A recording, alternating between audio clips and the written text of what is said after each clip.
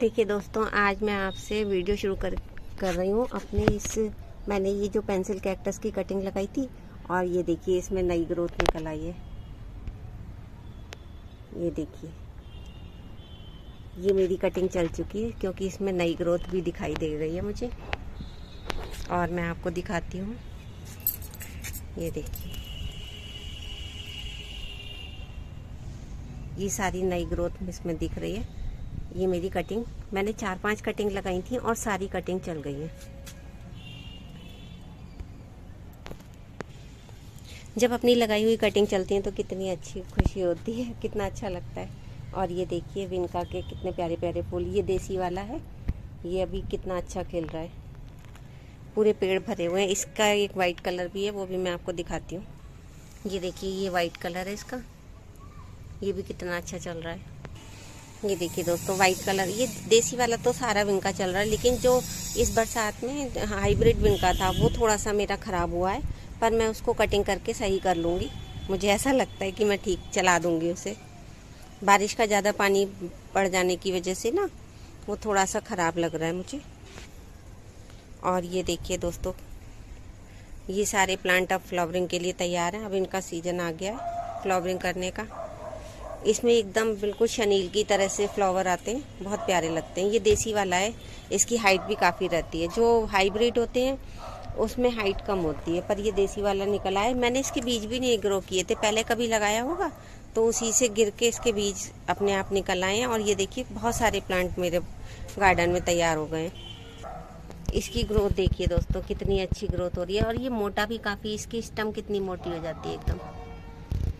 ये कुछ मैंने कटिंग उसकी लगाई हुई है हिविस्कस की, और ये भी तैयार हैं बस लगने के लिए। अब इनको मैं किसी पॉट में शिफ्ट करूँगी। चलिए दोस्तों, मैंने कुछ सीड लगाए थे अभी चार पाँच दिन पहले, वो मैं आपसे शेयर करती हूँ। देखिए, ये मैंने आपसे शेयर लगा, बताया था वीडियो बना के डाला था। ये मेरे पेंजी के प्लांट मैंने सीड लगाए थे, ये इसमें भी ग्रोथ दिखाई दे रही है मुझे। और ये सिलोसिया के हैं सेनेरिया के हैं हर उसमें मुझे थोड़ी थोड़ी ग्रोथ दिखाई दे रही है। कुछ सीडलिंग्स निकल आई हैं। और ये मैंने मैरीगोल्ड के सीड्स लगा रखे थे। ये देखिए, ये कैलेंडोला के हैं। ये तो काफ़ी सारे निकल आए हैं। ये मेरी सीड है और मैं दिखाती हूँ आपको। ये देखिए दोस्तों, ये मैंने मैरीगोल्ड के सीड डाले थे और इसमें कितनी अच्छी ग्रोथ निकल के आई है। ये ऑरेंज कलर कलर का मैरीगोल्ड है और मैंने येलो कलर का डाला है, वो भी मैं आपको दिखाती हूँ। ये देखिए, ये है। बिल्कुल अभी छोटे छोटे से ही निकले हैं, क्योंकि तीन चार दिन पहले ही डाले हैं और ये देखिए कितनी अच्छी ग्रोथ हो, एकदम से कितनी अच्छी सीडलिंग निकल के आई है। अधिकतर जर्मिनेशन हो गया है। तो दोस्तों, मैंने अपने आप को सीड तो दिखा दिए कितने अच्छे जर्मिनेट हो गए हैं, लेकिन अब मैं आपको अपनी कुछ शॉपिंग की थी मैंने। मैं नर्सरी गई थी, वहाँ पे मुझे कुछ प्लांट्स पसंद आ गए थे तो मैंने ले लिए थे। वह वो भी आपको दिखाती हूँ मैं, चलिए। देखिए दोस्तों, मैंने कुछ जो प्लांट लिए हैं, वो आपसे शेयर करती हूँ। ये देखिए, ये गुलदाउदी की मैंने कुछ सीडलिंग्स ली हैं। मेरे पास इसके पेड़ थे, मैंने बचा के भी रखे थे, लेकिन पिछले एक महीने में जब मेरे टेरेस पे काम शुरू हुआ तो उस समय मेरे जितने भी ये वर्कर आए थे उन्होंने ध्यान नहीं दिया और मेरे सारे पेड़ खराब कर दिए। तो मैंने अब ये गुलदाउदी की तीन कलर खरीदे हैं। एक ये देखिए, एक वाइट है, एक रेड है और एक येलो है। ये इस तरह से मैंने ये तीन तीन प्लांट खरीद लिए मैंने। अब इन्हें मैं जब रिपोर्टिंग करूँगी, जब मैं रिपोर्टिंग करूँगी तो मैं आपसे शेयर करूँगी, देखिए। देखिए, अगला प्लांट मैंने जो लिया है, ये है मेरा हर सिंगार का। दोस्तों, मैंने इतनी बार कटिंग लगाई हर सिंगार की, पर मेरे घर में जैसे ही कटिंग ग्रो होती थी, कहते हैं ना, ये मेडिसिनल प्लांट है। तो मेरा जो डॉगी है छोटा सा, वो आके इसे पूरा खा जाता था। मैंने कई बार कटिंग लगाई, वो ग्रो भी हुई, लेकिन उसने मेरे प्लांट को पढ़ने ही नहीं दिया। जैसे ही प्लांट निकलता था, एकदम से वो चबा जाती थी आके। पता नहीं उसके शरीर में दर्द था, क्या था। तो अब मैंने फिर थक के मैंने कहा, अब तो ये इसका सीज़न आ रहा है, हर सिंगार के फूलों का, पारिजात भी बोलते हैं इसको। तो मैं अब ये प्लांट लेके आई हूँ खरीद के।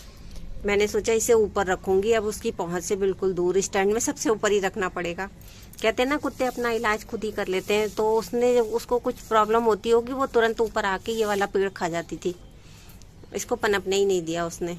अब ये थोड़ा बड़ा हो जाएगा, तभी मैं नीचे रखूँगी, और जब मैं इसको रिपोर्ट करूँगी तो मैं आपसे शेयर करूँगी। अच्छा अगला प्लांट मैं आपको दिखाती हूँ, दोस्तों, ये देखिए। नीचे से दिखाती हूँ। ये है मेरा प्लांट गुआवा अमरूद का। और दोस्तों, ये हाइब्रिड वाला है। ये देखिए, इसमें फूल भी आ रहा है। देखिए, इसमें फूल आ रहा है दोस्तों, और बहुत छोटा सा प्लांट है ये। उसने माली भैया ने नाम तो बताया था, पर मैं इसका नाम भूल गई हूँ। ये हाइब्रिड है, और इसमें उन्होंने कहा था कि बहुत जल्दी अमरूद आ जाता है और बारह मासी वाला है ये। बारह महीने इसमें अमरूद आता रहेगा। ऐसा नहीं है कि सीजनल जब होगा सीजनल प्लांट नहीं है, ये बारह मासी वाला प्लांट है। इसको भी मैं एक बड़े पॉट में लगाऊँगी, तब मैं आपसे शेयर करूँगी। इसका एक प्लांट मैंने बीज से लगाया था, वो भी हो गया था, वो भी मैं आपको दिखाती हूँ। देखिए दोस्तों, ये प्लांट है मेरा सीड से लगाया हुआ। जब हम अमरूद खाते हैं और बीज डाल देते हैं, तब ये प्लांट मेरा निकल आया था। और इसकी हाइट देखिए ये भी बहुत अच्छा चल रहा है, पर इसने हाइट बहुत ले ली है। अब मैं इसकी भी प्रूनिंग कर दूँगी। जब मैं इसकी थोड़ी सी प्रूनिंग कर दूँगी, तब ये भी नीचे से ही बढ़ना शुरू हो जाएगा। इसकी हाइट कम हो जाएगी। और दोस्तों, ये देखिए, मैंने कटिंग से इतने सारे मैरीगोल्ड के प्लांट जो हैं तैयार कर लिए हैं। इनको भी मुझे पॉट में शिफ्ट करना है। तो अब आप लोगों को मेरी ये सीडलिंग और ये कटिंग और साथ में मेरी नई शॉपिंग कैसी लगी, आप लोग मेरी वीडियो देख के पसंद बताइएगा, पसंद आए तो लाइक कीजिए और हाँ दोस्तों प्लीज़ वीडियो को पूरा देखिए। तभी हम लोग, हम, मुझे आप लोगों का सपोर्ट चाहिए, आप लोग पूरी वीडियो देखिए, पसंद आए तो लाइक भी कीजिए और जो लोग नए हैं वो सब्सक्राइब भी कर लीजिए। चलिए मिलते हैं अगली वीडियो में।